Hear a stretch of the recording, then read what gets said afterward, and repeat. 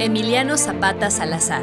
El 8 de agosto de 1879, en San Miguel Arcángel, Nenecuilco, nació Emiliano Zapata Salazar, el Valle de las Amilpas, al sur de Cuautla, rodeado de haciendas, en el municipio de Ayala, fue el entorno donde Zapata creció, luchó, forjó ideales y sueños. Ahí aprendió a trabajar la tierra con sus propias manos y a defenderla de quienes quisieron arrebatarla a su pueblo. Ahí comenzó a templar su espíritu intransigente y construir la idea de justicia y ley para los desposeídos. Ahí vislumbró la necesidad de alzar la voz ante el poder.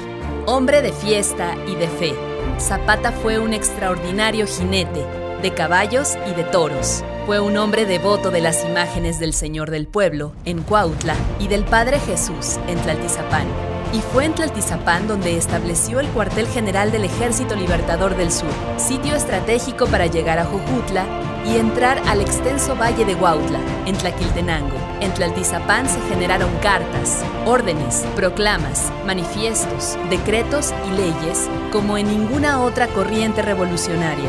Durante ocho años, Zapata y su gente enarbolaron la bandera del agrarismo, ganaron importantes batallas y resistieron los embates de sus enemigos. Finalmente, el 10 de abril de 1919, el caudillo del sur fue abatido en la hacienda de San Juan Chinameca, iniciando con ello la leyenda del héroe.